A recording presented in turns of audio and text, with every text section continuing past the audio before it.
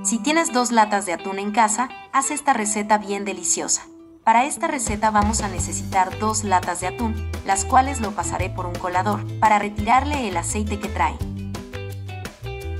Una vez retirado el aceite reservaré el atún.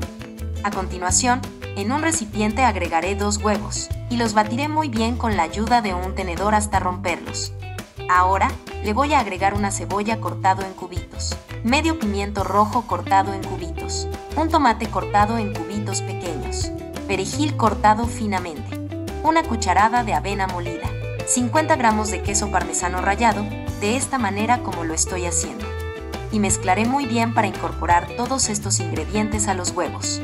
Chicos, esta receta con atún es muy fácil de hacer y queda increíblemente delicioso. Estoy bien segura de que a todos les encantará el resultado. Enseguida, condimentaré con una cucharadita de ajo en polvo, media cucharadita de sal, una cucharadita de pimienta negra, una cucharadita de pimentón en polvo y finalmente el atún que hemos reservado. En este momento me gustaría saber de qué país o ciudad miras nuestras recetas, para enviarte un saludo muy especial en la próxima receta.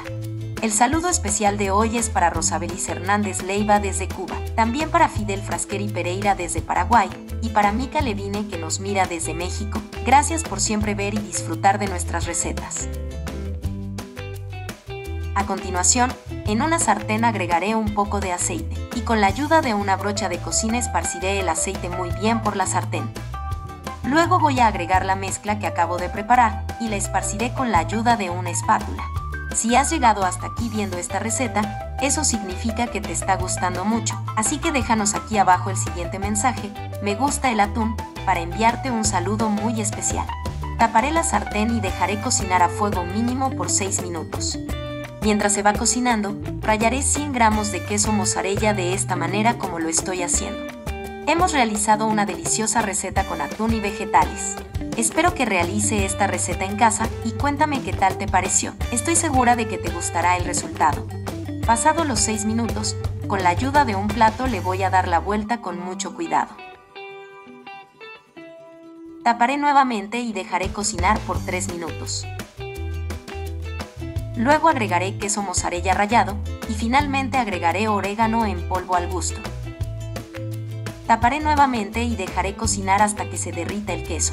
Y ya nuestra receta con atún está lista, mira lo increíblemente deliciosas que quedaron. Me gustaría que calificara esta receta de 0 a 10 para saber si te ha gustado el resultado.